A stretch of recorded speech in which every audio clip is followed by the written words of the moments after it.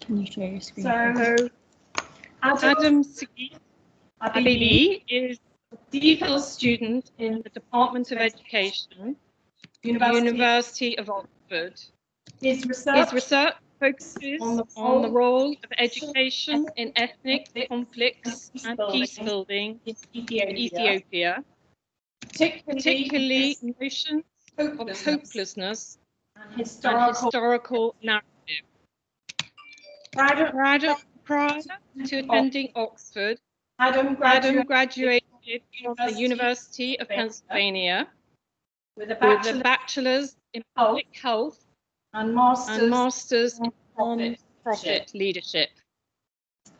At Oxford, At Oxford, he tutors, Hebraic comparative, comparative education, while also while also exploring the university at depth personal, personal projects, including including each all at all the Oxford colleges. colleges, 44 so far, so far, attending attending Sunday Sunday masses at all all Oxford Oxford churches churches and, and all all college college for even or songs, evensongs, as well as as well wearing as wearing Anthony's college. Company's College.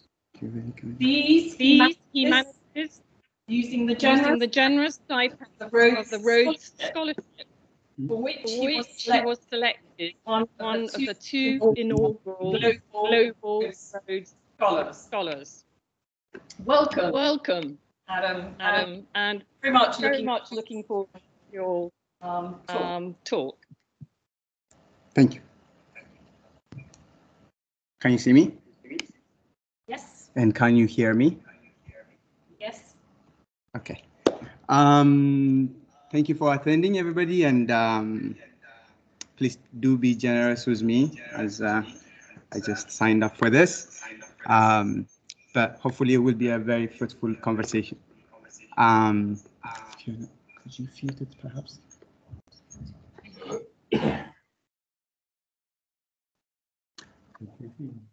Okay. Um, so my presentation would focus on uh, education and ethnic conflicts, which is like the subject of my PhD research as well. Uh, and for, for the theme of this seminar, I would focus mostly on uh, related to flourishing or barriers to flourishing. Um, so let's uh, let's get started with this. So uh, I looked into the seminar and some of the central questions that are discussed for uh, for this are how then might education support pathways to human flourishing in different contexts, and especially in uncertain contexts? And what are the purposes of education in, promote, in promoting becoming and flourishing? So I will relate this to peace building, education, or conflicts in the context of Ethiopia that I am studying, because um, the first thing is for me, like how do we, how do I define before I start from education? How do I define flourishing? What does flourishing mean? And this, why I chose peace is the central concept for me that the goal for education, one of the goals at least for education should be to attain peace. And this idea that, you know, through education, that you, we can have a society in which actually we will lessen the violence and eventually, of course, the individual will be fully capable to attain their own potentials. Um, so I wanted I wanted to study about peace or peace building and like in the central aspect of um, the UNESCO um, the UNESCO constitution as well. As, as you can see, since wars, like it's written in the UNESCO constitution, since wars began, begin in the minds of men, it is in the minds of men that the defense of peace must be constructed. And this is written in the UNESCO constitution. So, which means that there is a lot of hope and expectation that we put in education that actually it will be used as a support or as a pathway for flourishing. However, unfortunately for me at least, so even though I was interested to study about peace building, the empirical data for which I was interested to study in the context of Ethiopia didn't support it. Didn't I didn't necessarily find pathways to flourishing. So then I needed to shift more to barriers for flourishing. And this is important as well, actually, because I uh, I don't know if uh, you can see very clearly about the two frameworks that I'm using, and one of it is by David Johnson, our convener for the seminar. Um, it's, it focuses on at the bottom of the pathways to human flourishing. We have to go through fundamentally three or four steps before we talk about the central person or the individual being equipped to flourishing. There is at the outer level, there's the intern, the international and the national context, enabling and disabling factors.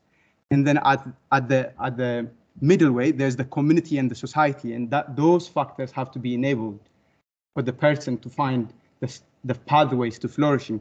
And then at the third level, there's the home and the school.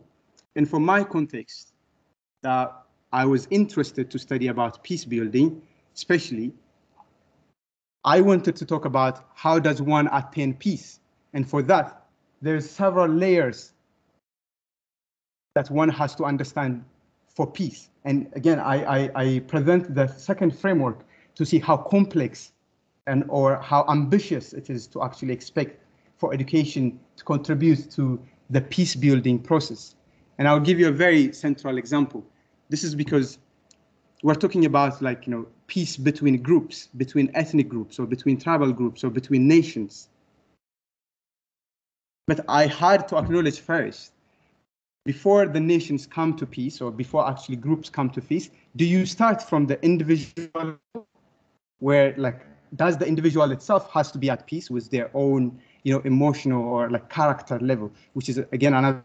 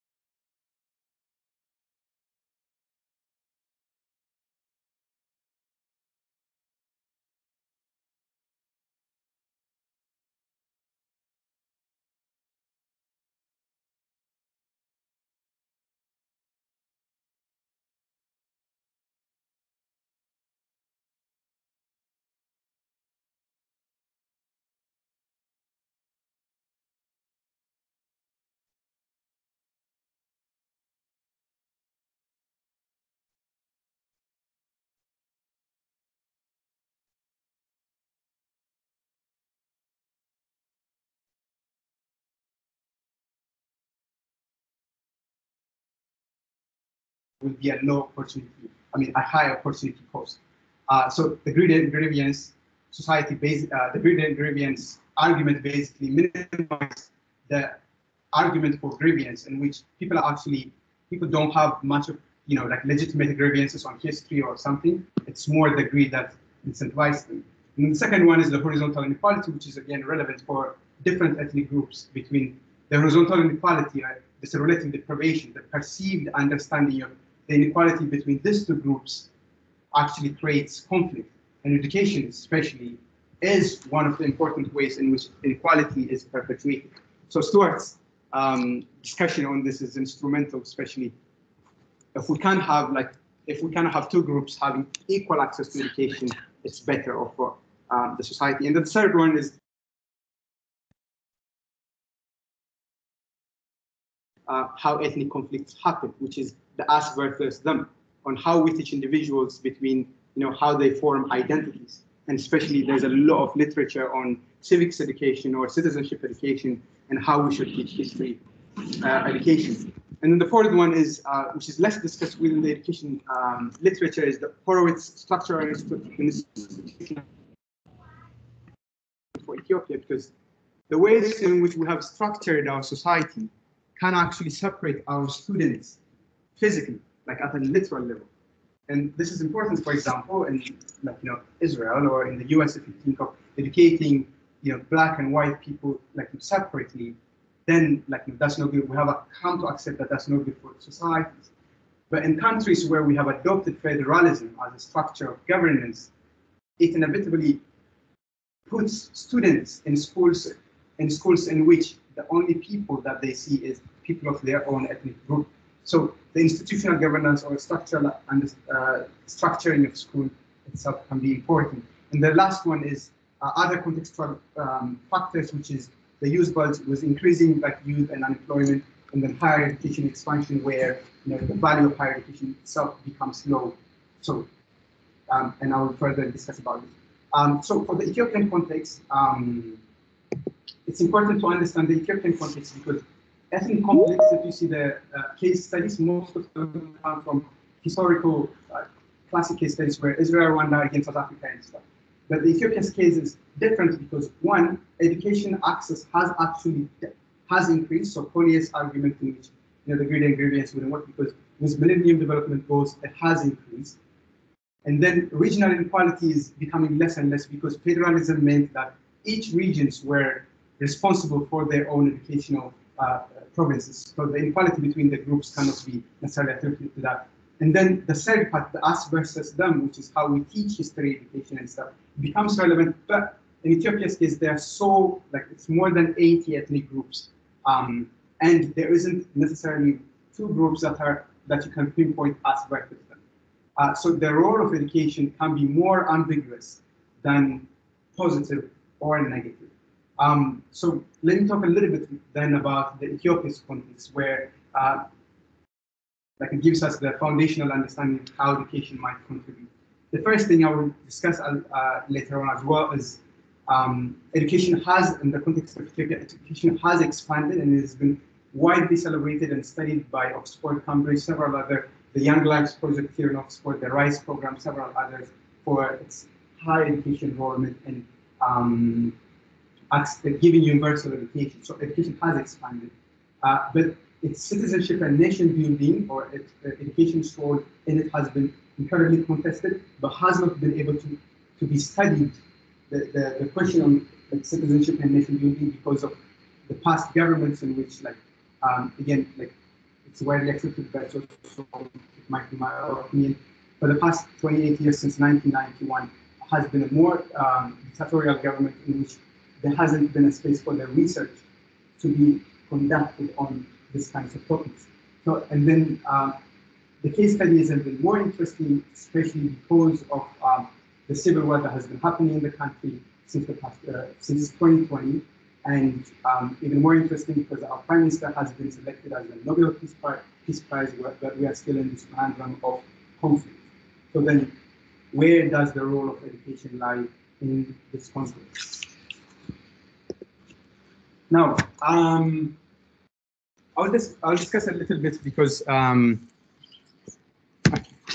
I'll discuss a little bit because I want to talk about the challenges in researching uh, educational pathways or barriers to flourishing, which will address the central topic of this seminar as well. First, education role, both positive and negative, is limited by the larger political and structural issues. And I acknowledge this because it's very difficult to say there is a role for education flourishing or for conflicts because when much of the conflict is led by way outside of the education institution, the conversation should be having with a lot broader audience than just within the education circle.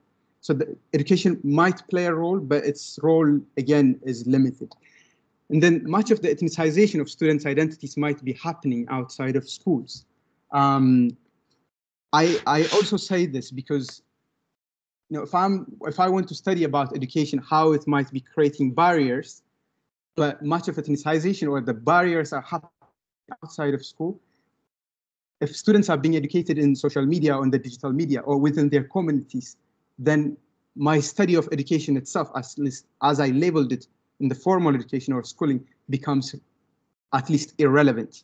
So then we have to ask the again, what do we mean by that education? Or like in this seminar, where is our hope or expectation of that education is? Is it within the institution of the schooling, or is it outside where you know the digital media is actually leading how people are educated about their identities or um, just general terms. So I acknowledge that the ethnicization might have also happened significantly outside, again, which is also supported by my data and the fieldwork. And then the second part is in the context of very poor education systems like that of Ethiopia, which I'll discuss again, education's role must be studied as a whole system and as a composite, i.e. asking what is education for? So I can speak like two, three hours about like what are the barriers within the education system, like the pedagogy or the lack of quality of uh, teachers or the curriculum or you know the funding or the rural areas. There are so many endless things that I can mention to you. But at the end, for me, it's like if it is all a composite of problems, then I must ask within this dysfunctional system, what does education mean for the Ethiopia's context? Why is the, the schooling system, first of all, there? What is its purpose? So I can have at least a holistic understanding in which education might be participating in conflict. So, and then the, so if I say what is education for in Ethiopia, first of all, before I say how is it, how how it is contributing to conflict, there's a significant challenge in defining the purposes of education itself. And I will I will say this, I'm an education PhD student. I'm currently tutoring about, you know, on education. I wanted, I didn't have necessarily a bachelor or master's background. So maybe I asked some of like the students who had master's uh, uh, background and say, hey, can you refer me perhaps to this one fundamental book where if someone is starting to just say, what is education? You know, how do I understand this field as a field or what's its purpose? Can you point me to a book that I can actually start? I actually run into a lot of difficulty trying to pinpoint to this book or to this author where I can say this is the purpose of education. The kind of references that I have are most about learning, you know, Paulo Freire or this person or that person, where it's focused on learning. But education, as we know it, as it's as an institution of formal schooling, its purpose for me hasn't necessarily been defined, or at least, you know, it's very hard to articulate when I spoke to policymakers or others. So um, in my attempt to at least come with like, you know, about like to understand the barriers of education, I tried to use uh, Biesta's three purposes of education as a framework. Um, sorry, let me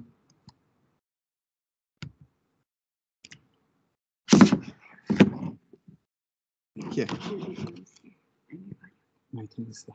Um, so I wanted to use Biesta's three purposes of education, or at least schooling, as a framework to say, okay, at least for this uh, conversation, this is what I'm using. For schooling, basically, Biesta describes it as like, you know, three, three purposes, qualification, socialization, subjectification.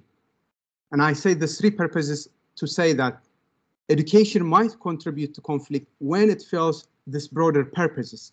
And especially in, in Ethiopia, we use the, uh, when I talk to teachers and students, they use this term called ብቁ ያልሆነ ብቁ ያልሆነ ትውልድን የፈጠርነው or like we made a generation that is inadequate, be it by way of skills, be it by way of thinking, or be it by way of trying to align or collaborate or uh, sympathize with the other person.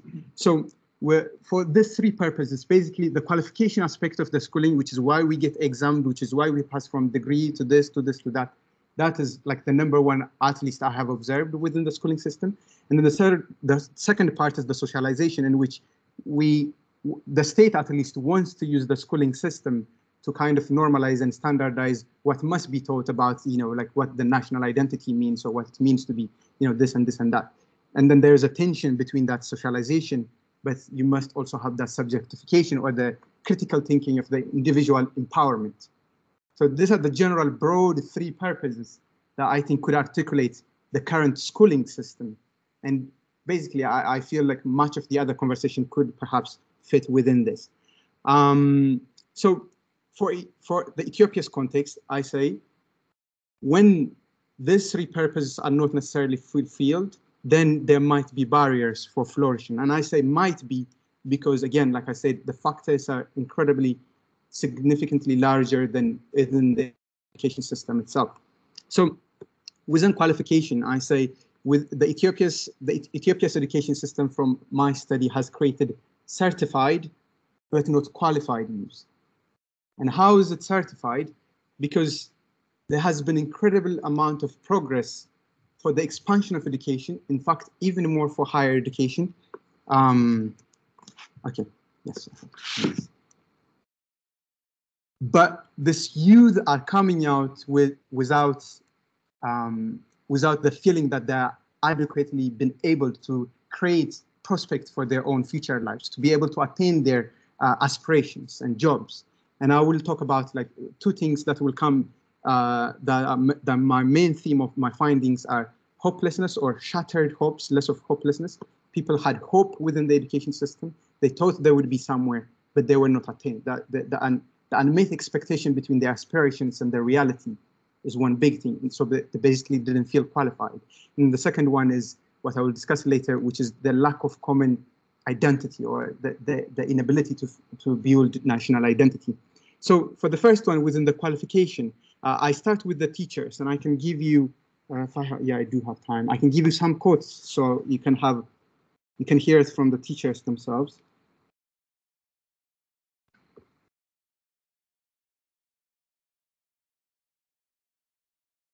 So, okay. Um, so the first one is like the um, MDGs and evaluations that I say one of the big problems that came during my study,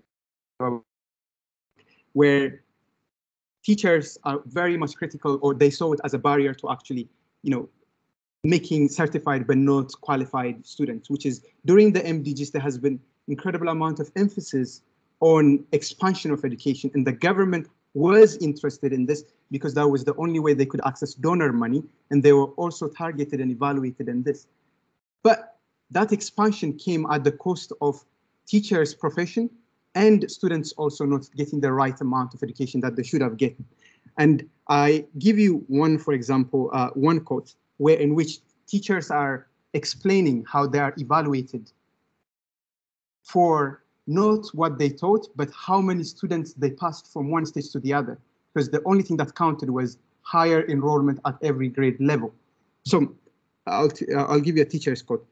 It's not mandatory. Uh, it's not a problem that school was mandatory, but the sole responsibility was burdened on teachers. The teacher was made to leave his classroom and scout around to get children to attend schools. Campaigning should have been the role of the party members, not the teacher who should be in class teaching. Maybe he could go to church or mosque and preach the value of education, but the teacher was made a scout, be chased by dogs in the farms and get bitten, just to get children to attend schools. Even the principal was sent as a scout. The system made our profession below the status of beggars. In fact, less than a beggar. Not only your time, but you are stripped, stripped of your dignity because the teacher will be fired from his job if he does not get the enrollments and attendance in school. And um, I, am obviously, I'm as a researcher, I'm inspired by these powerful quotes. But I'll tell you, these are not like very unique things from one or two teachers that I have found. The, the profession of the teacher has been actually degraded quite low because it was the responsibility of the teacher to go in these rural areas and actually make sure there was this enrollment, just the ticking of the enrollment itself. So the teachers have been demoralized and felt they are out of the things. One, again, because of this emphasis on the MDG ghost. And then the second one is the surveillance and political oppression in which student teachers didn't feel actually they could, I asked them, okay, did you did you say no to the to the school administrator or did you say no to the uh, local bureaucrat? And they said, no, I can't because the system didn't allow it. And I'll, I'll tell you this, the external pressure that comes, uh, this is a quote, the external pressure that comes from outside school wasn't easy. The district, the district officials will just tell you they need to speak with this teacher and you're asked to have a surveillance on the work of the teacher. If you are a balanced principal, you say it's not your role to surveil the teacher. You can say that as a fellow party member, but by telling your truths and not supporting the party with your life, you will forever be stuck with your principal role and you will not grow in your career.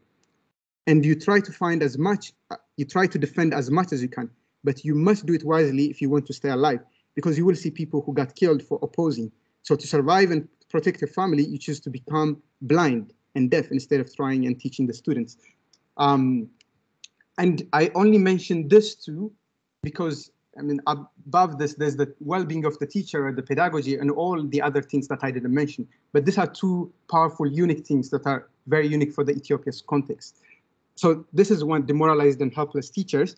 Um, and then we have not only helplessness and demoralization among teachers, and then you will also see it in the students, like this shattered hope or broken hope in students where they lost value in education like why, why should I go to school or why should I um, become educated? The number one thing has become again I expect I, I explained in the larger contextual factors this growing youth population where they are educated, they have higher aspiration, but that is not met by the economy. So then the unemployment and corruption becomes a significant factor in which people feel there is no value in education. So I say this in Ethiopia, like this is a quote from the student, in Ethiopia, the poorest ones are the educated ones. We see a farmer having better reach of his agriculture or others by taking shortcuts, stealing. There is no profit in the long walk, but the shortcuts. Education is no use here. We see it in our home, in our own homes, where much of the students I spoke, and this I also have personal experience with my own friends and brothers and stuff, where you know, there's an incredible amount of unemployment. This is after students have gotten into university, they have graduated with first degree, and they still at home. So then how do you make that case for the rest of the other children to continue to go to school? And then the second part is the, the forged papers, so which is the devalued credibility of educational qualification. And this is a very interesting phenomena where in Ethiopia, where you go, and the government itself admitted that more than 50% of its own bureaucrats have their thing is fake. So to, to be employed within the government structure, you need to have a degree. But then because of nepotism and stuff, you can have your own degree qualification where you don't have to, you know, basically, you don't have to go to school to attend those materials or those education qualifications. And that has created high level of, you know, like lost like loss of loss of trust in the system where basically you don't need to go to school if you can actually have like that grade. And uh, surprisingly what was surprising for me was when i spoke to university teacher university students they in fact defended it.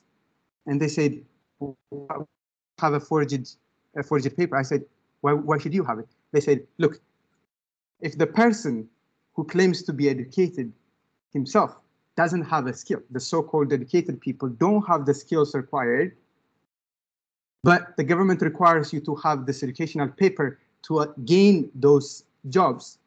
Or if the jobs are highly tied to the educational paper and the educated person himself doesn't have the skills needed, what's the problem if you fake it? Because you both don't have skills anyway. In fact, you might have the skills by way of experience. Um, so you may have many years of work experience and you may know the job more than the so-called educated one, but you will not be hired if you don't have the degree paper. Therefore, to get the job, you must get the forged one. So this is the way in which even the students themselves who are at you know, university, who feel like they're not getting the, the skills that they should be getting are defending how one can have a forged paper. Um, so uh, this then, for me, created a dilemma. Okay, if you don't think you are learning in school, you know, if you don't think it's valueless, why are you in the school? I ask the student, why are you here? If you don't think like you are better off without. And uh, it seemed very big to me, but then it was easily explained by my aunt actually. Um, you know, I said, why is she here if she is not going to school to learn or something? She said, Gizela Maqtar. It basically means to count time, meaning that school has become where you go because there's nowhere else to go. If the family itself doesn't have money to actually make the student go and get something, then in it's a public education, that's where they should spend time. So basically it becomes a way in which you just pass through life because that's the where you can only be. And then the second one is many students, many students said, የመንጃ ፍቃድ ለማግኘት ነው or to get a driver license. In Ethiopia, to get a driver license, you must have finished grade 12. Like you need to finish grade 12 and have your grade 12 or your high school certification to get a driver license. So then you have like, you know, students who don't want to be there, but they're there because they need that to show and get the driver license and become a driver because that's a stable job.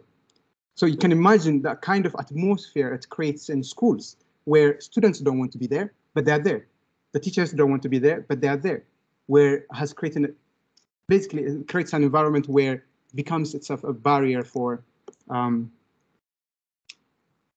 flourishing. Then the second part is socialization, which is the making of ethnicized or um, I said non-virtuous human beings. Especially, I focus on this lack of common identity in within the Ethiopian one. Um, so I mentioned two things in how do you create, teach virtue and character? The responsibility of virtue and character has been solely kind of relied on Ethiopia for the civics education. Um, but civics education, anyone will tell you, you go there, it's quite undermined. No one cares about it because they tell you, look, our government and stuff, they have been here 30 years. How can we talk about democracy in, in the class when, when it is like this? Um, and then there's incredible um, high amount of censorship within the teachers and the students on what they can teach and what they cannot. So I'll give you again an examples for this, uh, which is, so I ask for a student, you know, like, look, you can get something out of school, and she, this is the, uh, this is what she replied to me, like, you know, why she doesn't think like there's an absolute value of learning and learning. She said, for knowledge, I could get a lot more from my phone, online. Why waste my time in school? Even on TikTok. So if I want to learn, I can do online. When what you are learning in school is meaningless, it's only talks, nothing in practice. And I asked her, give me an example. She said, no need for examples. They teach us not to do corruption, but that's the first thing you see in school. The civics teacher will give you grades if you give him money. And similarly, a teacher also explains to me why they cannot discuss more than what the curriculum says within the class, saying you can't teach in depth in civics classes. That's why civics courses was being taught by party members, but who had graduated with physics and math subjects. They don't know the pedagogical science of the subject. These are hard natural science students who don't know the social science field. To start with, they are only there not because they wanted to be teachers, because they want to move up through they want to move up through the party organization system. They were teaching civics because they were not yet they were not yet adequate for other political roles or they were demoted from other offices due to behavioral problems. And um, this is also supported by the Human Rights um, uh, Human Rights Watch like report in 2018 where it was found, you know, like more than 90% of the civics teachers are required to be party members.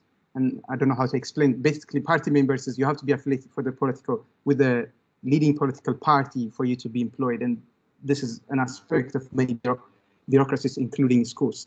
So this like so there hasn't been where in which you know students are taught morals and ethics. So it's considered you know civics education, but it has a lot to do with uh, the government's own curriculum. And then the second part is uh, there hasn't been a common national identity. And this goes way beyond education, but I'll give you a, a, a, first example. When I went to school, I went to school with only people from my own ethnic group. And that's continued, this continued for majority of Ethiopians because you go to school in your own ethnic region until you go to universities. And universities are the first places where they meet other ethnic groups who speak differently, who hold different views, historical views or kind of places. So then, you know, think of again, it's like the desegregate, I mean, the, the level of segregation, not by choice, but because of the structure we have adopted, which is ethnic federalism, Um, and then the second part is the the the mandate for uh, designing history curriculum, especially for primary and second for primary level, is um, for regional governments, and regional governments design their own history curriculum, which has been contested. And then the, second, the third part is uh, the no common language of instruction. This also, I will mention here that the case of Ethiopia is a very unique case study because, because it has not been colonized, uh, the language issue and the history issue is very much critical because you can't use, for example, a common colonial language in which other African countries have adopted, where you can use English or French, or you can't use like you know certain historical narratives where you can kind of basically create a national identity against colonialism. So that has been a very common uh, challenge for um, creating a common identity within Ethiopia. So I'll go forward for time purposes. Um, the third part is the subjectification part, which is um, so now we have students who have been taught within their own ethnic groups and they have their own you know beliefs on certain things. There hasn't been a significant focus on civics education or morals and virtues. Um, and then on top of that, there is the problem of the critical thinking. Uh, sorry, the subjectification or the problem of the critical thinking. Um, so for this, I will mention two things, which is the first one is uh, the critical th critical thinking again similar to the qualification where critical thinking couldn't happen because um, you know a teacher is saying like you know I have to deal with a lot of like you know students at one time and more than that the, the misplaced policies that was adopted by MDGs, which two of them are self-contained classrooms and automatic promotions. And I'll explain them. The self-contained classrooms are where a teacher is responsible for teaching all four subjects like maths, English, social science, and natural science throughout grade one, grade two, grade three, grade four, uh, like from first to four, it follows them. Now, I have seen this perhaps in my experience in the US where like you know, one teacher, because it's not significant, but in Ethiopia's case, this becomes extremely dangerous because I will explain who these teachers are, how these teachers are recruited. If a teacher, if one teacher is the one that's following all the students and they don't necessarily feel equipped in all those four subjects, the foundation of these children at the very basic level is what's, you know, what becomes dangerous. Um, and then the, the second part is the exam-centered um, curriculum because we follow a very high-stake examination at grade 10 level and at grade 12 level. Um, so for automatic promotion, uh, like that, that is like what I told, what I mentioned earlier, in which a teacher is a teacher is mandated to automatically promote the students, even if they don't have like you know the required grades. And I'll give you a quote on this. When the teachers evaluate and pass only the deserved students, you are told after time is spent, human resources is spent, money is spent. Why do you fail this money, students? You're told to improve yourself because if the student fails, you are the one who failed. You're told to pass the student, even when the student attended classes only for a day or two per year. You automatically make them pass. The students didn't even know how to spell their names, but passed to grade seven and eight. And now, now at your high school, your 40 minutes class is wasted helping those students catch up and leaving out the other good ones. The government needed the enrollment numbers to get the MDG aid money. For you, the teacher and your consciousness, you can eat mud. They wouldn't care. Um, so then if you have like, you know, this kinds of policies in which these teachers are here, then I ask myself, who are these teachers, which was very important. The policy in which like, you know, when this Millennium Development Goals were um, adopted, there were a high number of students, but few number of teachers. So the, the teacher shortage became a real problem. So the choice they adopted to actually increase high number of teachers where they allowed people to get trained one year training after they failed, like the grade 12, like to pass to upper secondary level. So when you finish grade 12 and if you fail, you, can, you are allowed to go into either become a health officer, a field agricultural uh, supporter, or you become a teacher. These are the three key, you know, important things for Ethiopia's life, like the agriculture, the farmer, the health, the farmer, and then the teacher. But this, you know, like this value, these things are so devalued that, you know, like it's the grade 10 dropouts, or like, you know, when you fail to go into um, university that you become in here. And then the classic one is assigned by not not by choice. I have spoken to from teachers to university level professors, more than 50, 60 of them, not one of them told me they choose to become a teacher or they choose to become uh, into this profession. You are assigned, which is like the what, what happens after the grade 12 or like university entrance examination. You put 12 of your list. No one chooses to become into a teacher or education. You was assigned your like fifth and sixth choice. Some of them not by choice. So not one chose to become a teacher. And then even the rest of them who became later on is after they didn't find jobs. Um, and then the last one is, um, I will go forward a little bit, is the incompetent and political education management, which is the governance from the council level to literally Ministry of Education, which whom I know. It's literally by political loyalty. No one has a technical education background. And then the second one is like, so this is not led by teachers, uh, but by, you know, your political loyalty is sought after. Um, and then the, the, the second one, because we haven't had any like good political leadership with really good educational background, much of our education policy has been led by donor focused money than with an Ethiopian context. And I finish with that because that's what I feel is missing was the, what is the philosophy of Ethiopian education or like what is what is it meant to do fundamentally? Is it when it is like you know 70% agricultural society is there a point to actually like design our schooling system the same way industrial society so the same way you know um, much of the western society has been designed and when this millennium development goal comes for universal education know, we never ask or we never had the chance to ask what's the point like you know of educating everyone all at the same time if no one can come out of it with a potential to flourish um, so this is a very uh, difficult one. So I leave you with this. The content is very difficult. So this is a teacher that um, a quote that he told me. Sorry. The content is very difficult, overloaded, and little class time is given. Then the time is wasted working between this class and another. And look at this method. It's chalk and talk that kills your time. And the leftover time is then left trying to manage 60 and that many students in one class. Above that, when you see what's inside the students, there's no hope. Why? there are two or three students who graduated from their household but are unemployed. That impacts them and they say they can't grow, they can't go anywhere with their education. But they but then they see others who stop education having shortcuts.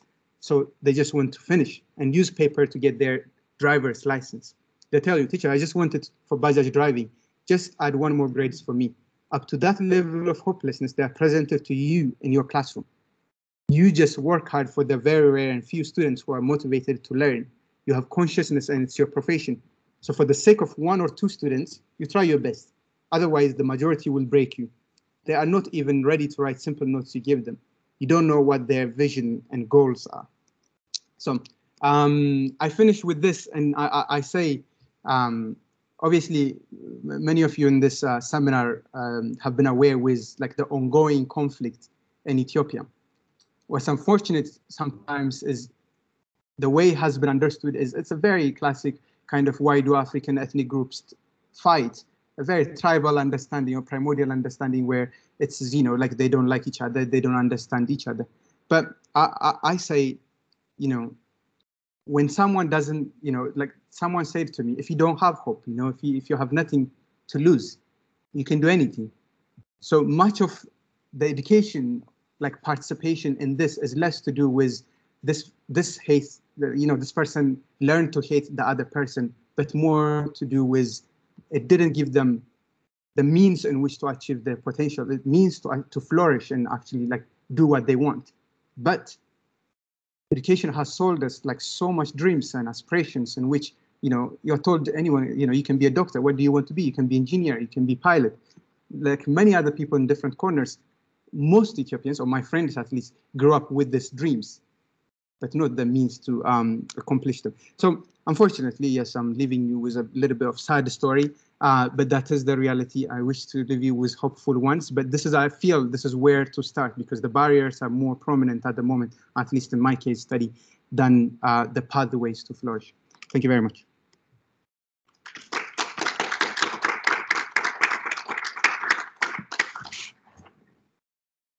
Well, Uh, Well, thank you, Adam. That was really landscaping, rather desolate. Um, so really, um, really looking forward to uh, questions. Um, I hope you can hear me on the um, chat in the in Microsoft Teams.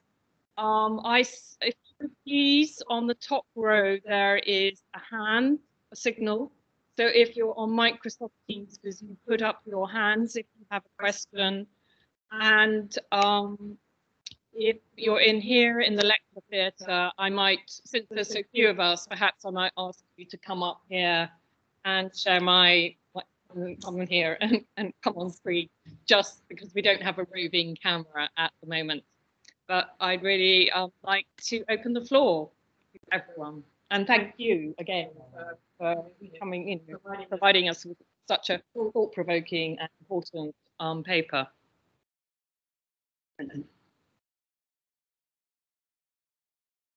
David.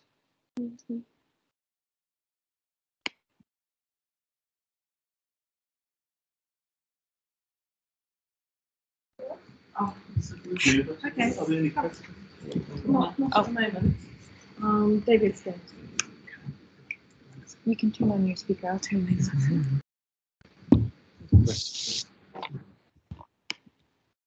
Oh, yes, or after, after Kurt, Kurt will come. Would you like to ask a question? Would you like to, Luana, would you like to uh, pass your computer? Um, you to- can speak here. It's muted at the moment. You go ahead. No, no, no, you, you, you do. It's not muted. But you, uh, you yeah. Yes, yes. Okay. Um, so, do you want me to hold this? So, hi everyone. I'm asking my question. Um, thank you, Adam, for um, for that. Um, it was it was a very good. Um, I, I really I really enjoyed it, and it was a very um, um, perfectly structured and surmised uh, view of, of the issue. I was um, I was particularly drawn to one. Uh, so it's it's a very basic question, I guess, but I was particularly drawn to your discussion of uh, qualification uh, as as one of the themes in in the circle, and I was wondering. So it seems that.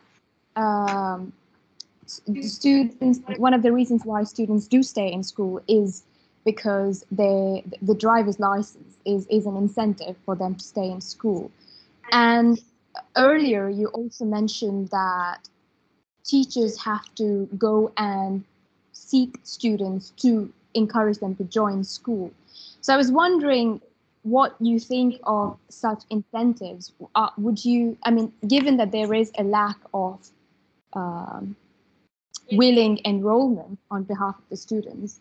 Do you, do you, what do you think of such incentives? I, I can see that they have a negative impact in the sense that students just kind of don't really think about education, but they, they can just get forged documents and then just get the driver's license. But perhaps I, I, I guess I wonder because there could be such such, such other incentives uh, in encouraging education, and I was wondering if you could speak about speak to that really. Perhaps not just the goods and the bads but i guess why why do they fail? Um, and what what could be done for them to not fail i, I guess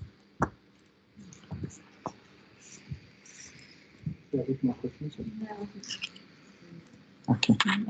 Yes. Hopefully, can you you can hear me? So uh, basically, the um, so the, the driver license. So those students who want to be in the school are the urban students, and then the, the teachers that they're chasing after are in the rural areas. So with the mismatch. But so what what what can you do for in terms of willing in, enrollment or the incentivize? I mean, this is the big question. Or why do they feel This is the big question. But what I would say, um, sorry, what what I would say is, so for example, some of the students tell me how they wish to, you know, they're at level of grade 11 and 12. You know, they would much prefer to be in the vocational school instead of being in that one. So which is for the government. So now they have not allowed it to like take exams. So like you have to finish up to grade 12 before you go to vocational school. But for most of them who see, you know, like you are better off as a carpenter especially in the previous times, it used to be stig significantly stigmatized. and hence why most students thought they're better off going into this universities and stuff. But now the university graduates are actually out of jobs, and those who are carpenters are getting money.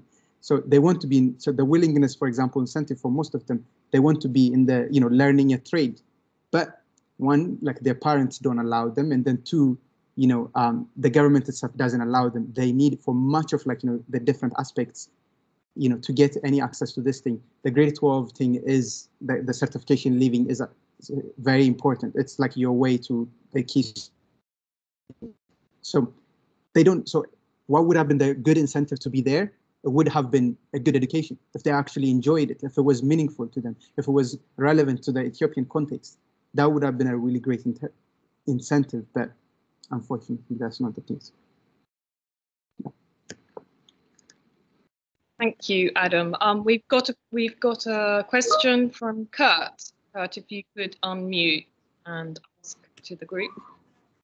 Forward to hearing from you. Hello, this is Kurt Shaw. I'm in, I'm in Brazil, and it's it's hard to thank you for such a uh, uh, such despair that you provide. Nonetheless, the analysis was brilliant, and um, and I will say thanks for that.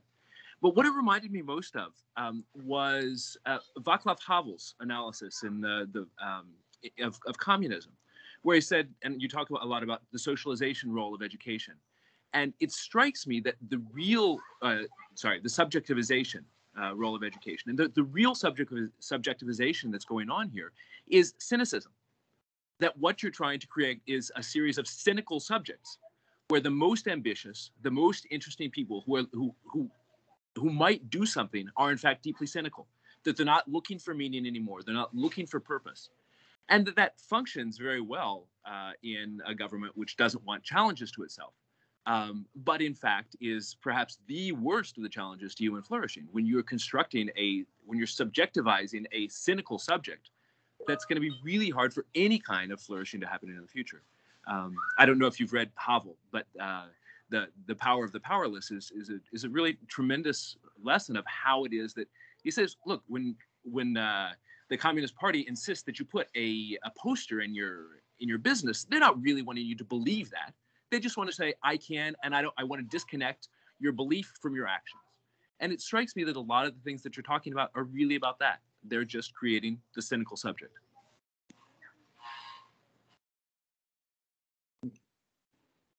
Thank you, Kurt. Thank you, Kurt.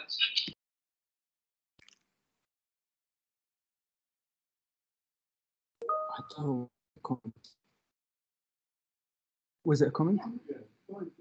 I can comment on that more. a question. What what I'd love to hear is if, if that's a correct analysis of what you're saying. If if we're if we are talking about cynicism, or if you think that there is some something else that's going on. Um, maybe that's uh, okay. Sorry, uh, you can hear me, right? So like, I would say the the question of cynicism um, it certainly applies it like applies in this context that people feel like I wouldn't know if I would call it cyn- they're cynical about you know like you know their agency or you know what's happening or I wouldn't know if I would call them rightly hopeless or like bro- with broken hopes. Um, but to your point about like you know the government or at least what's happening at their levels to create this, that you know that would need you know a really big evidence for me to say that like you know the government intentionally created cynical people. But that might have been the result of like you know like what has happened. But at the level of the students what i can say is instead of cynical or at least like for them they want to change you know like how they want to engage. You know they have been actively part part of the protest. They have been actively part of trying to make things happen but they feel hopeless. They feel you know kind of um, not empowered enough like to do things. But is it in the government interest to create you know people who are not necessarily like you know challenged to them? Yes that has been the case. David if you want to say something. Uh, why don't we let uh, no question I'll, I'll come in. Okay sir. So thanks for that. Hello. Um, hey um i missed your name but i loved your presentation it was really really excellent and thought-provoking um and i wanted to kind of offer some reassurance and maybe a little hope. so the reassurance um, is about this kind of the increasing commodification of education, right? And this is something that you actually see very readily in the UK. So I taught for many years in FE colleges, and year after year, there was kind of a lot of pressure on the lecturers to move people forward. There were more and more people in the classrooms. You had from we started with 25, then it moved to 40, then 60. In fact, I had one student who I believe was technically homeless, right? And the incentive from the perspective of the college was financial, right? So you have even here in these kind of like Western, most developed countries, you have this um, flip from education as a transformational opportunity to educational as a transactional uh, state of affairs. So what you're describing in Ethiopia, the, the reassurance is that you have it here too, perhaps not as, as readily or as big, but there is a continuum. And I, I would hate the picture to be this is something that only happens in Ethiopia. But here in the West, you know, we don't commodify education. We don't, um, you know, think of education as a transaction where we're trying to move people along. So that's the reassurance. We're on a continuum, right? It's not like Ethiopia's bad and, you know, we in the West, we're fantastic. It's not true. Um, but the second thing that I wanted to leave with was, um, or to kind of talk to you about is something that in your presentation that gave me a bit of hope. And there were two things in particular that gave me hope. And the first is that these teachers that you were talking about, some of these teachers who actually really believed in that power of education, the transformational power of education, they were focusing on those one or two students in their classes who could um, have many of those three dimensions that you were talking about, right? So those teachers, those those agents on the ground. And the second thing that gave me hope is kind of the the digital um, part where you, you mentioned a girl who said, um, I can find the information that I need on the internet, right? You've got digital resources of course in in villages digital exclusion and digital poverty may be an issue but you do have the opportunity right through the internet to find and discover much of this information. So the hope comes from looking at informal contexts. Outside of the fear of the formal constructs that you have for education, what is happening in the informal world that is really kind of feeding those three elements or elements, parts of those three elements that, that you discussed? So where, where is the hope here? And there, there appears to be some. Yeah. Thank you, thank you, thank you. Mm. There are a of um, put on mute. There are a couple of questions in the chat, um, and I'll speak them out so that we can the recording captures them, and perhaps you can then speak to them. So um, Rosemary um, says, after describing the state of education in Ethiopia, with all the barriers raised, what is the contribution in knowledge your study is bringing forward for policymakers, government, etc.?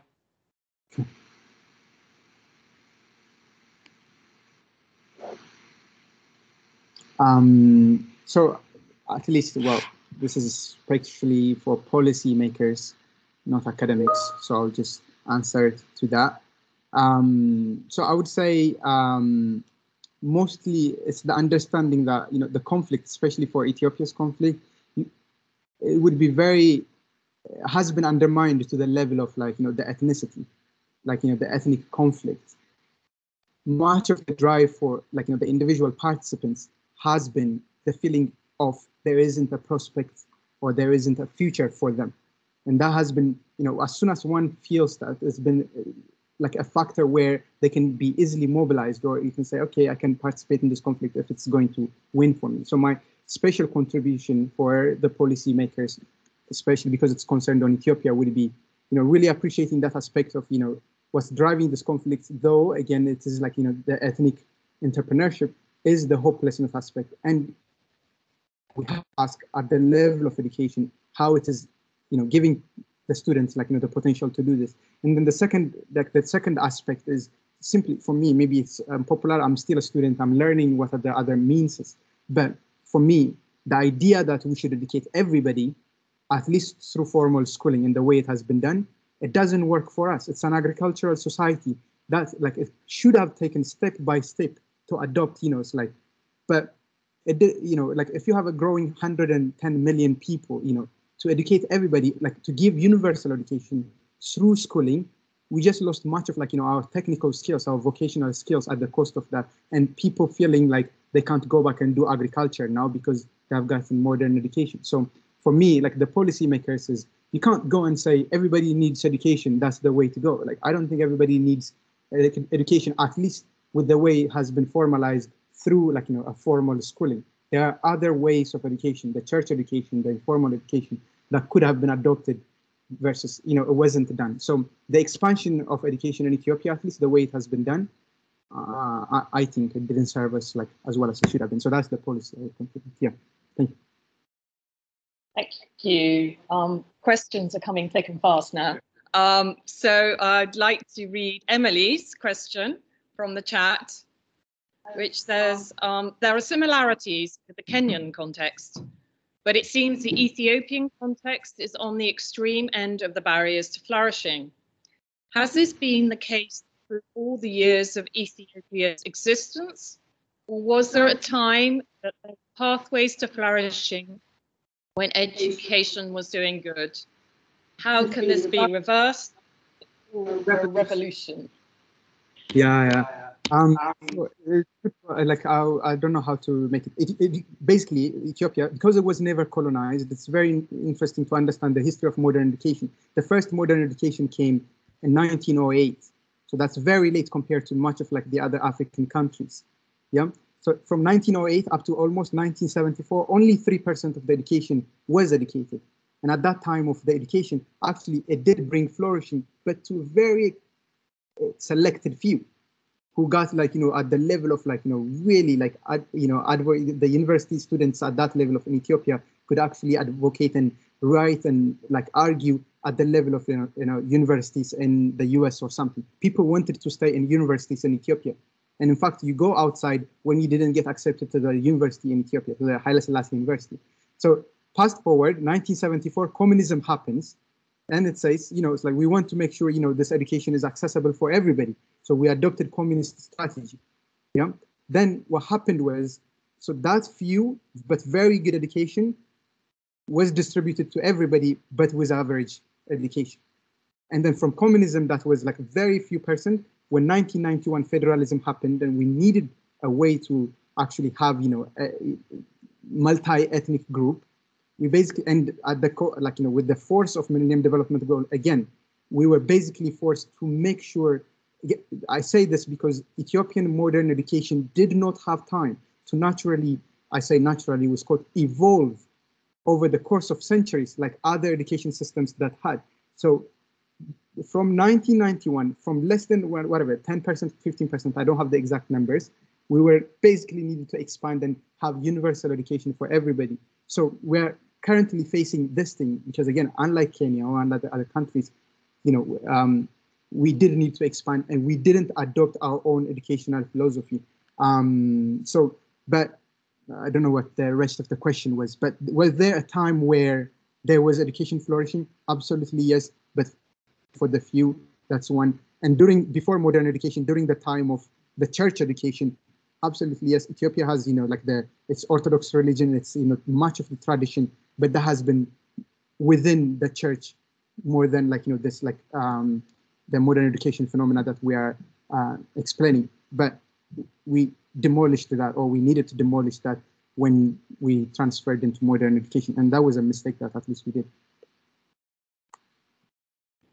Wonderful, thank you. So we've got one question from the floor, and then Katie, it will be your turn for a question. Um,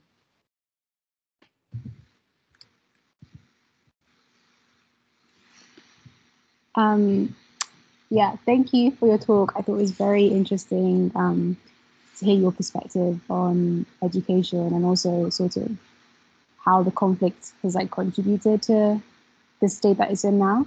Um, my question for you is to do with like federalism and whether you think that I mean try not to be like too political, but whether a centralized the benefits of a centralized or do you think the benefits of a centralized system would outweigh those of a federalized system? Because I think the whole idea of um, well, that, the implementation of federalism in Ethiopia, which occurred like in the 1990s, I think, um, may have been like created with the wrong intentions when in fact it probably had the potential to do good.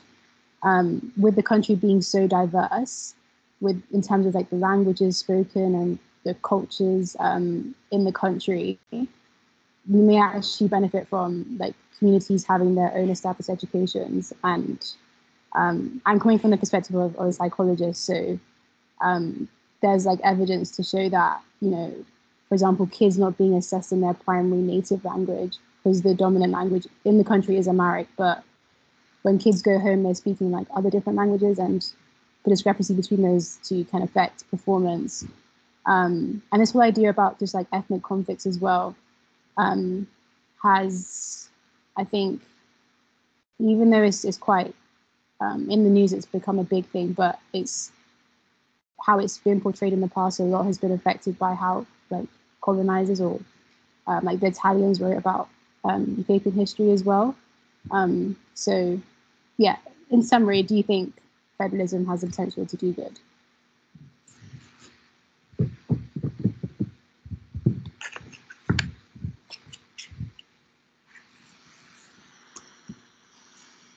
Um, this is a very uh, important question for the context of Ethiopia, um, because how do you basically how do you make sure there is equity of education when you have 80 ethnic groups, like know, within language. So let alone Ethiopia was 80 ethnic groups. You know, the U.S.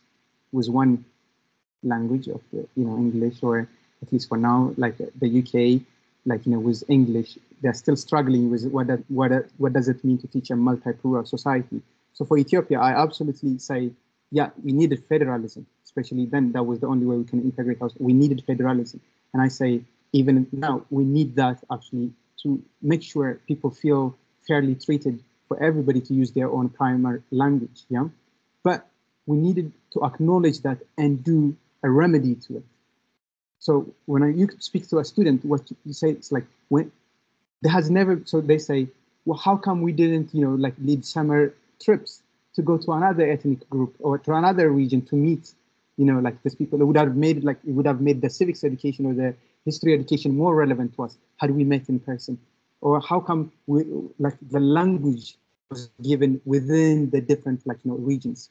Now because again like because the this common identity like the federalism as a structure could have been kept but at the same time you could have given ways in which people could interact with one another, ways people could feel they are in this together. There's a commonality where it could bind them.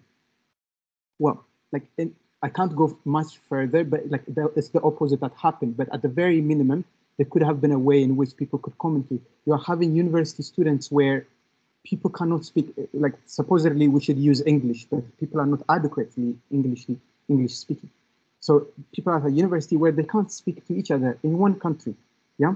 Had we been, for example, if there was colonization, maybe you could have used this like you know French or something. But in Ethiopia, this didn't happen. So once we adopted federalism, we could have gone further and said, okay, yes, we need to use this like as a means of like you know, structuring it, but education could also be used to actually share cultures with one another. Share. I didn't learn. I could have learned something about the other. I didn't learn during my time. I could have gone on trips. I didn't do that. So my my my things that were omitted that could have been done that were not done than the system, the federalism itself, because that's the option, the, the only option we had at the time, and in fact we also have at the time now. Um, yeah. Thank you for such a rich answer. Um, now I'm going to pass the baton over to Katie Annis, who's written a long question and comment in the chat, which you can perhaps use to kind of ground your responses. But Katie, it'd be great to hear from you. Um, um, if you'd like to share. Sure, sure. I did put it in the chat. I forgot I had my hand raised as well, so I'll, I'll offer the verbal question. So you've done a great uh, expose of really the forces of disintegration, the things that have brought down um, Ethiopian education over the last decades. And when we think about human flourishing globally, there are a lot of barriers. I think there would be maybe 90% barriers to human flourishing. We see a huge process of disintegration destruction globally. Um, and you know what you've talked about is something that's happened over a couple decades. You know, with a with a heavy hand of you know party rule, and with a system with 35 million students in the education system. You know, it's the second most populous nation in Africa. So that's a lot of people who've been affected by the processes that you have talked about. Um, but I just wanted to ask you, or maybe challenge you, if you could do a follow-up study um, to this work that you've done on what are the counter forces to that. You know, on the other hand, you see um, various individuals or small organizations or small, you know, bright lights of people who, you know, either have a vision of how things in Ethiopia were different than they are now, or who say, you know, this generation has lost something. What is it that they have lost? And they they see a value that Ethiopia has. And you know, I even know of people who've spoken of sending, you know, pioneers from Ethiopia to other places on the continent or to the US. You know, the, the social skills, the way of sharing, of giving, of interacting, of, of selflessness, of cooperation might be more highly advanced in the Ethiopian context than in other contexts. And there, you know, I think in the when a, not this minister of education, but in a previous minister, they did a, a study and found that I don't know how they did this scale of, but hundred thousand parents um, uh, identified moral education and character as uh, one of the core needs that was lacking in education. Um, and some initial efforts were put forward to respond to that, but of course, everything has ground to a halt with conflict. But there are these points of light um, and I don't really um, expect you to kind of address this right now because you've done a whole presentation on the other side, the, the destructive forces um, that would counter human flourishing. Um, but I would ask you, if you were going to do another report, how could you systematically um, sort of bring to light and do a report on what are the, um, the constructive forces that they're enabling avenues and pathways toward human flourishing um, because Ethiopia is, you know, has an, an, extraordinary potential on this side, maybe even greater than some other nations. And so I wonder if it, it, would, it would, warrant, um, you know, something that looks at both angles. Yeah. Um, so I will, I will, I will answer it because obviously the focus has been the formal education itself for this case, but what are the counter forces uh, or you know what what, I, what could have I talked about like to see where the flourishing has happened. If I had a different uh, dissertation, I would actually have studied about the liturgy of the church. In Ethiopia, I went and asked, you know, it's like that the thing is, oh, they didn't learn about moral education, they didn't learn about civics, you know, it's like, and I went to the curriculum and I saw there was nothing about peace. And I, hence I concluded this student or generation didn't learn about peace. But then I went and asked and said, do you think they don't know about peace? In Ethiopia, the church every day, I mean, the, like I can't, I can't speak for the most, but I know at least the experience of the church every day holds a liturgy. And its liturgy, it prays for peace, it teaches for peace. And people are actually are more attracted and they listen to the church history or to the church teaching because again traditionally also that's where education came from the church education came from the Ethiopian Orthodox Church, I meant in this case.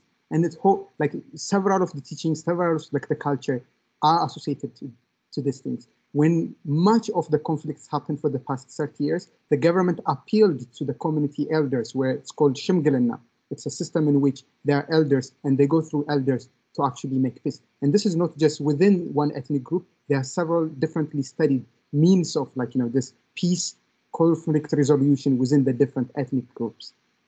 And for me, that's where the flourishing happened, but at a very small scale that could and should have been scaled. In fact, at the expense of modern education, if I was to um, uh, resource allocate.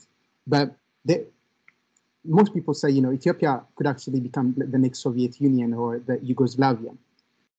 It won't be, and it is not at the moment. And in fact, this is mostly has to do with, you know, when you are hungry, when you don't have much, when you are being depressed and stuff, what's actually keeping you from going and killing everybody? And for me, that has been much of it. People tell you the amount of resilience they have learned and developed through their own sense of understanding of what they say, God or the church education, what they say, because it is transpired in much of like other things.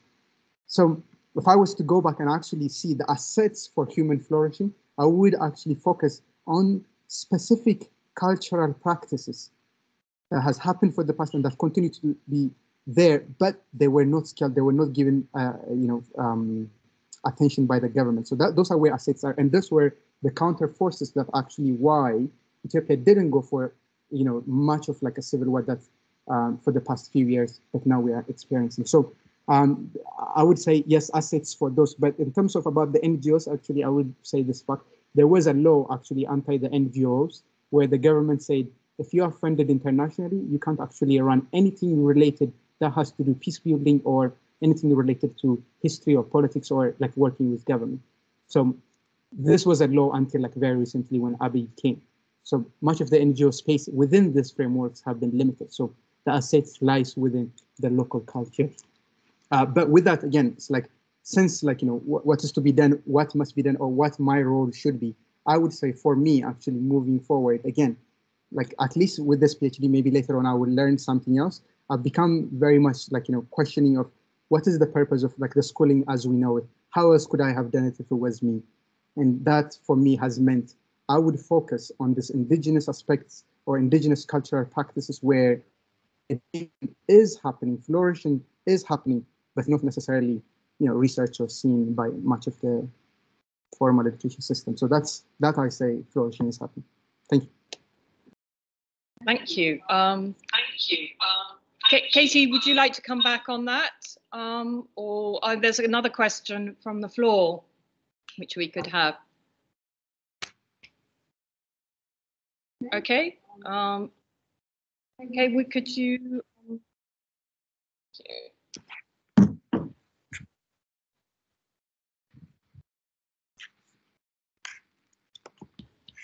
Um, so I was actually I was quite interested in how you see. I was I was going to ask you what do you think are um, other alternative forms of edu- providing education in some ways alternative forms of knowledge that could be cultivated as education. But given your emphasis on church and and the religious religiosity that informs um, education, I was kind of wondering there clearly is a clash between um, a socialist slash secular conception of education, which in some contexts may be enforced top down, and then the uh, perhaps a non-socialist but religious approach to values that one also finds in secular understandings uh, or through education. So I was wondering if if you consider um, church as an alternative school where same values can be taught and perhaps in better way, it, at some level level it it kind of demands an ideological shift between that secular understanding of education and that um, religious and gaining of those values. So, what are some of the pathways that can, or, or bridge that can make this ideological shift happen? Because I like the reason why I ask this is because this is very dated, but I I read something a while ago. Um, about how uh, the socialist state in India failed because it just was not in touch with the religious reality of the people. So, and I was kind of, I guess, in your comment, I I sort of noticed a similar clash, and I was wondering if you could speak a little about how we can bridge this.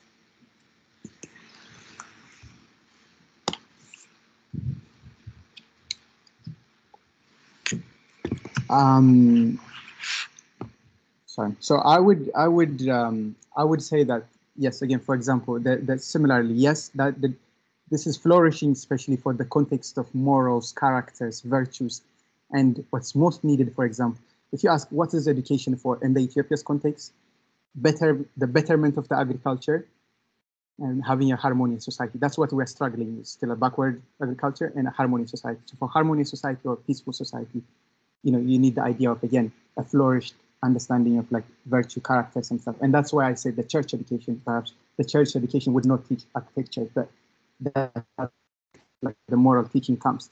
And then for the ideological shift that you say, like this secular understanding, within Ethiopia, many other countries, and for many, it's you know this morals and characters, our understanding of like you know this educations came from the church. It came from our religious understanding of what it means to be moral and stuff. But we quickly jumped to say we need to have a secular civics education.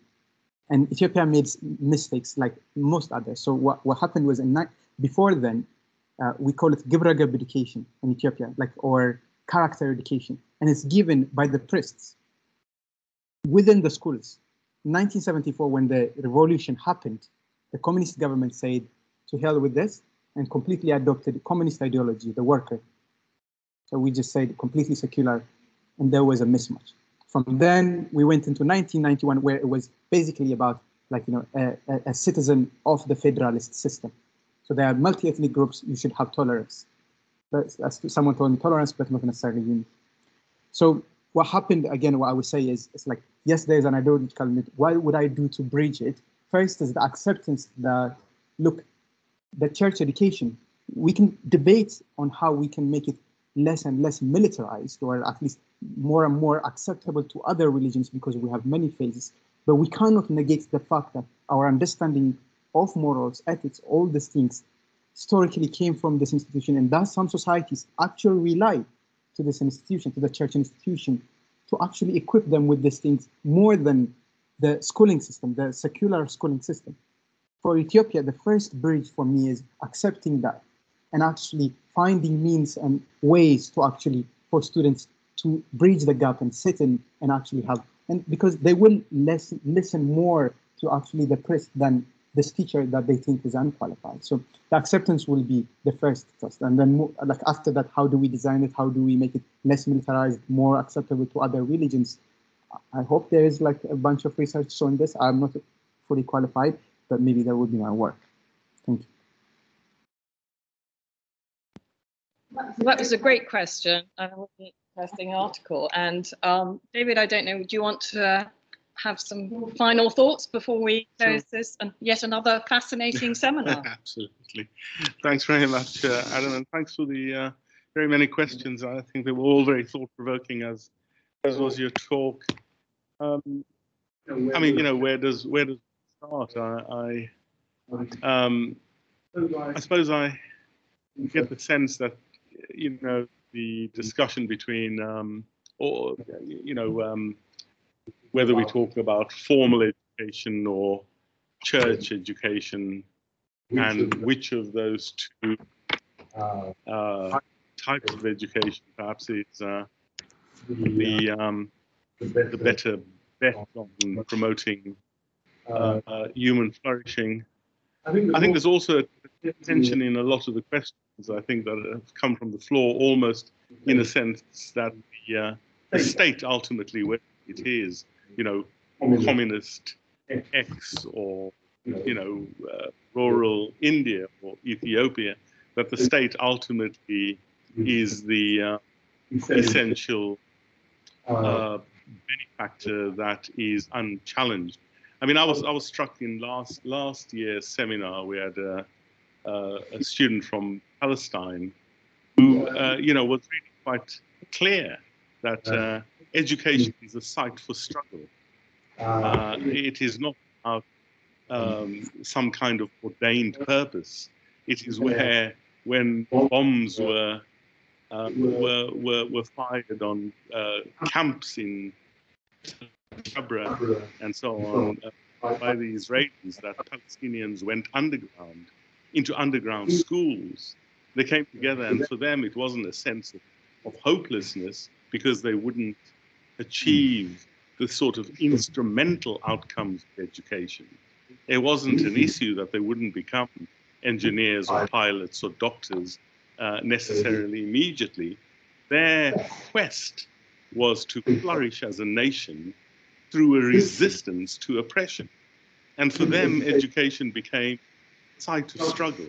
And questions such as cynicism, Kurt's point, or hopelessness, a wonderful uh, sort of concept uh, that I think uh, Adam has uh, helped us to um, uh, to try and focus on, uh, all became part of the tool bag to achieve flourishing. These were not hopeless things. These are not things to be dismissed. Cynicism is an important piece of the armory to achieving flourishing, is, in a sense, bizarrely, hopelessness, etc if one uh, uh, takes the Palestinian example of education really as a as a as a site struggle, and that ultimately, when go to school wherever they are, uh, and it's easy enough to be dismissive of them not having teachers skilled enough to uh, engage them in critical debate, and that may well be right to allow them to become critical thinkers. And that may well be, be right. But I think yeah. the other perspective is simply that where people come together in social activity, wherever that is, and even in very poor schools, etc., the opportunity uh, for uh, critical awareness, the opportunity for understanding each other. So, you know, when Adam said, is there a book to go to? And I thought, well, actually, throughout my career, there were probably many. Could I now uh, direct somebody? Is a very uh, perceptive sort of question. I'd probably struggle a little bit. Well, in your case, Adam, why don't you look at Jacques Delors, who was the French prime minister, and his book on, uh, you know, uh, the four sort of pillars of education and learning to live together, and so on and so on. Or why don't you turn to Dewey, who spoke of democracy, and that was the purpose. But ultimately, you know, globalization has meant that for many governments, including Ethiopia and wherever they are, ultimately flourishing has been um, foregrounded almost as an ideal to be achieved in alignment with financial prosperity. So for every government, everywhere, the drive, as I think uh, Ukusu Kusha was uh, was uh, saying tonight, the drive is um, for uh, some kind of uh, qualification, some some huge amount of effort is by, by, by governments, not because ultimately the belief is that individual mm-hmm. human beings flourish. Ultimately, the belief is that if one can show volume, in other words, 80% of a population, wherever they are, achieves educational attainment, i.e., first degrees or master's degrees, etc. The economics tell us that the return to uh, national. income, but, but also household income mm-hmm. or individual income, is mm-hmm. sharp and it rises. And that's what a country counts as part. Its, you know, its GDP mm-hmm. is, is percent. And then, of course, the, the kind of new right discourse that has overtaken us is where countries are reasonably wealthy, then benefits trickle down to the to the poor. So many countries will drive their educational systems in this way and look at flourishing through this particular through mm. this uh, particular uh, lens. Others would argue that actually, really, the main purpose of education purpose is to get human beings to get in touch with themselves, to be emotionally settled and altogether sort of pleasant and reasonable mm. people, and that uh, educational systems should be geared towards achieving uh, that. But there are very few countries that would make that ultimately and practically and operationally the main driver of education, although they would acknowledge it. But for most, it is achieving a kind of economic um, prosperity.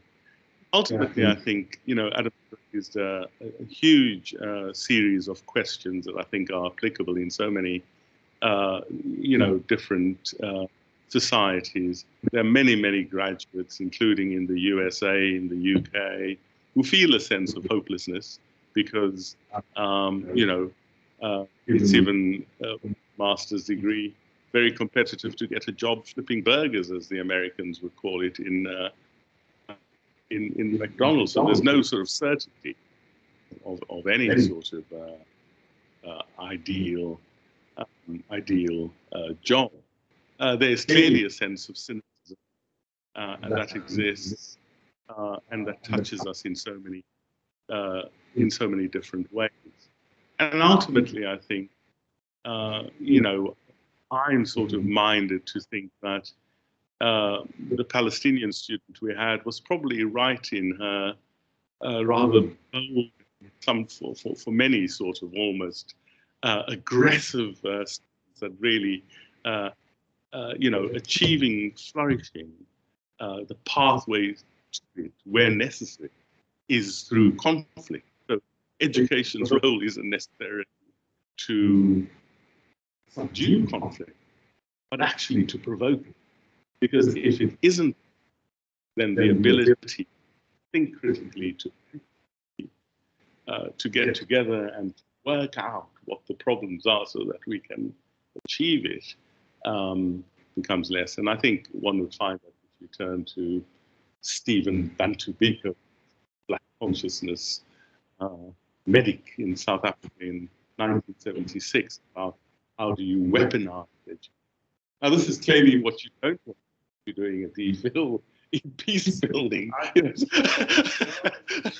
but uh, but they are provocative thoughts, and I think they come from a very provocative presentation. And thank you very much, Adam. It's a fantastic delight. Well, yeah, thank you very much again, and um, thank you all for joining for a most stimulating um, talk and seminar. Thank you. Thank you. Okay.